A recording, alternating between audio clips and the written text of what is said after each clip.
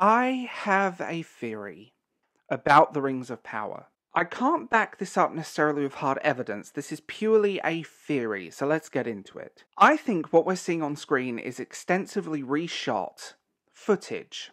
Production was started and Tom Shippey was involved. The death of Christopher Tolkien and the firing of Tom Shippey was a catalyst for change. An actor leaving not long after Tom Shippey is kind of telling, but also there's other stuff within this that kind of screams of heavy reshoots and heavy re editing. Continuity is broken in this show. Uh, to the point that a lot of the continuity, like basic errors, like characters changing height between shots, time of day changing, CGI swords that keep disappearing and reappearing, dialogue that sometimes, and I don't know if this is just me, doesn't match the mouth movement, but then again, ADR is a thing when you are making TVs and movies. That that is just the nature of filming anything of this scale, especially outdoors. So that one we can kind of write off. One of the things that sticks out to me is the continuity within this show because it doesn't seem to exist. There is no sense of time. Scenes happen, and there seems to be very little build up to these scenes. It just screams of reshoots. Like, you can always tell a movie that's been heavily reshot simply by wigs, simply by uh, settings, how the actors look. There, there are little things, and I think what happened was when Tom Shippey was fired, they used it as an excuse to rewrite heavy sections of this show. And I get the feeling there's a lot of footage on the cutting room floor before Shippey. There was a different character as Elrond, which I find quite interesting. I'm looking at my notes here. That I find different actor as him, which I find just fascinating. And apparently, it was the guy that played in uh, Chronicles of Narnia, the films. So, someone that looks a little bit more like um, the actor that played him in the Peter Jackson movies. Now, my theory on this, and I stress that word, is that once they got rid of the people saying no and they hired a bunch of yes men, Purple Head Freak, they didn't. They reshot heavy sections of this. And I also think a lot of the special effects were rushed. You can definitely tell the stuff that was done that had more time to the stuff at the beginning, to the stuff that was rushed at the second half or when they started heavily reshooting. Another tell that I have with this is the costumes. I get the feeling there were more cast changes than we realise because a lot of the costumes don't fit the actors. Armour is a prime example of that. As cheap as Rings of Power looks with the costumes, it's interesting that a lot of the armour just does not fit the actors. That's. You would think in a billion dollar TV show that would be a thing. But obviously, you know, 3D printing armour Come on. But it's just the way that the the it's just the way that it's paced out. It's just the way that it seems to handle itself. It's just the way that it seems disjointed in its production. Take all the bad stuff away, but you can definitely tell there were some re- heavy reshoots in places. And Again, with the costumes, printed on chainmail fabric, which was probably intended for the extras, not the main cast, is kind of telling, given the fact that the people in the costume department and a few people left during production as well. But again, this is theory rather than hard evidence. This is all just discussion. One of the things that sticks out to me is the inconsistency in the actor's performance. And I will say this there are actually some good performances in this. Uh, the actress that plays the female dwarf, the dwarven princess, is actually my favourite part of this entire show. What I don't get about this, they obviously started production a little earlier than they said because we know that you can see the production dates and the dates that they're saying interviews don't quite line up to the production that was done. But also, like I said, the heavy reshoots are quite obvious when you look at it. When you start taking apart the scenes and looking at the inconsistencies, the fact that a lot of the crowd scenes, the world feels very lifeless. There's not a lot of extras going on, there's not a lot of people. When there are, they're copy and pasted. One of the big reshoot things that I think sticks out to me is when she says our five Númenórean ships and it's free. That's a weird continuity blip that would seem quite obvious. But the disappearing, reappearing sword, time of day changing between shots, the, the even subtleties in the costumes changing between shots, they're obviously shots with a gap in between, and there was a lot of pickups. The CGI in some parts feels really rushed, like the wolves are obviously very rushed CGI, and again, billion dollar TV show. Think about it. I think a lot of the more rushed CGI is a symptom of the reshoots and the last minute changes because it was a case of what the hell are we doing here? We need to get this done really quick, and our time frame has decreased massively. Another little thing, and I know ADR is a thing, films use ADR all the time, but there are some scenes where the mouth movement and the actor don't match, which I find really interesting. And that happens. ADR is a thing, so this one is more, again, very subjective. But there's obviously some relooped footage and some relooped dialogue, and it just feels very incoherent and it's why there are two characters of the same name pop up as well, because I think that's a symptom of reshoots rather than anything else.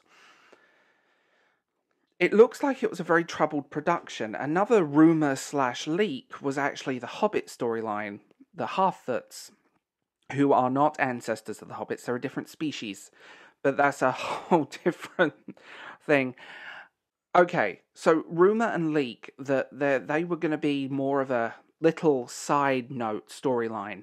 And when you look at that footage, especially again CGI and special effects and overall quality of that footage, it has a far more unfinished feel next to the rest of the bigger CGI. Like, I mean, the scenery in this is beautiful. And I will give credit where credit's due. Some of that scenery is absolutely stunning, and when the costumes work, they work really well but a lot of stuff just feels really out of place, and it's the continuity that keeps screaming at me throughout this. Like, continuity blips happen in film, it's the nature of film, it's the nature of filmmaking, but there are so many, from quite big things to little things to everything in between, and it just feels kind of incoherent in those places, which I find just fascinating. One of the other things that does scream out of me is the dialogue because you can definitely tell, in my mind anyway, the dialogue that was shot first and kept is still there, and it seems to come off a lot better than the dialogue from the reshoots because I get the feeling that was again very rushed. And like the production of this, I get the feeling a lot happened behind the scenes. But I feel like if you're going to shoot something like this, you have a billion dollar budget.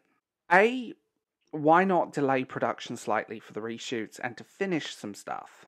And B, what was the original version of this like? Because I get the feeling the original version was more canon to The Lord of the Rings and the appendices. And I also get the feeling that there was some other stuff happening, maybe some better performances, but again, when you watch something that seems so incoherently put together, when there is no storyline really for the from from the first two episodes to the last two, everything that happens in the middle, it feels kind of pointless. It has no sense of time. It has no sense of travel. It has no sense of distance. You don't feel like you're on an epic journey, and there is a lot of talking headshots. Um, if anyone remembers that god awful show Shadowhunters, its pilot episode was nothing but talking headshots. Really. And that's usually a red flag for production stuff and reshoots and heavy reshoots because it's like we need to just get the actors in to re record this stuff. Also, the fight choreography feels kind of bizarre in this. You're thinking, again, you have a billion dollar budget, you're copying and pasting extras, you've got fight work that feels more like Selena in Underworld than actually Lord of the Rings, it doesn't feel grounded. Nothing feels heavy. Nothing feels weighted. Nothing. And yeah, I will say the Legolas scene in The Hobbit is absolutely weird, but that's what it reminds me of that very floaty, light look. And again, reshoots. And it keeps screaming at me, and I've had this theory for a long time, and there is leaks and rumors of this throughout the production and also a somewhat troubled production. So I do wonder how much of this is real and so on, because again, leaks and rumours, we all have to take those with a massive pinch of salt, but Nerdrotic was right all along, let's be real. I wonder what this would have been if Tom Shippey hadn't have been fired. That's my question now. And that's the question that keeps me thinking and keeps me wondering because I keep looking at this and it just feels so strange. Like like I said at the beginning, the overall structure, the overall editing, the weird pacing that is a complete mess, costumes, day, basic little things keep popping into my brain that don't seem to connect shot to shot here and there, and it feels really strange. I also wonder because I know this is a thing. This is just a side note. The the creators of the show are Mormons, and I do wonder they stripped the Catholicism element out of Tolkien's work. There is an element of Catholicism to his work, and a lot of what I'm seeing, there are certain key points that actually remind me a little bit of the Book of Mormon in places, which I I find really strange. There's a Mormon subtext to this show that and uh, I have no problems with Mormons. They're some of the loveliest people I've ever met in my life. Uh, but there is there is this weird Mormon subtext to this show that just makes me wonder what is going on and how it ended up where it did. There's a lot of rumors and leaks and information, but again, I do wonder how much of it is true.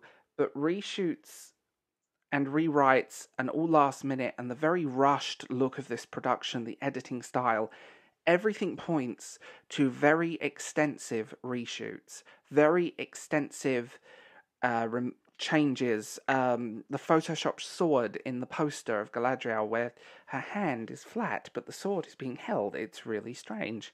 And also, something that sticks out to me with this, and this is just again a theory, and I want to say that theory is that when Tom Shippey went, when he was fired for the most reductive reason, I wonder how long the um, do not talk about this contracts last.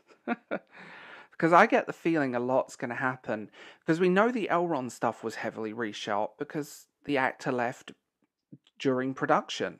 So we know for a fact a lot of him was reshot. And that might explain why some of the shots don't match. There's some background shots, and it's like, oh, okay. It just feels it just feels very strange and it feels so disjointed. And that's one of the things. Like, even if this didn't have Lord of the Rings in its title, I would say the same thing. The disjointed nature of this show, it just screams out at me. And I just wonder what would have been, how it would have been, and what it would have been like. Just, I wonder what's on the cutting room floor. And since we're never going to probably get a Blu ray or DVD release with deleted scenes, but they probably wouldn't put this stuff out anyway, even if they did, we're not going to get a big, extensive Blu ray or DVD set with an appendices and all of this stuff. We're, we're just not. Like, this is not build on any DVD or Blu ray release at all, and I think it's going to remain on Amazon. And another sign of a complicated production is the merchandising, because there is none. Kit Kats. Seriously. I've seen the advert once. I have seen the advert at one o'clock in the morning for Rings of Power Kit Kats with no. Uh, on a channel that literally specializes in made for TV Hallmark movies. So I do wonder, like, there's so much I'd love to be a fly on the wall during this production as terrible as the badly written as the show is, I wonder if even with a compressed timeline, what we would have seen if the re- if the reshoots and the rewrites are true, what we would have seen without that. I wonder if it would have been a better show. Maybe it wouldn't have even addressed the timeline. Maybe stuff would have happened, and I know they didn't want they wanted to compress the timeline so they didn't have to get rid of actors, which does make sense from production standpoint. But there's so many little things. You can nitpick this show to no end, big things, little things that don't line up, that don't add up, that don't feel organic. Even and that's just production. So I wonder what's what is left? What's missing?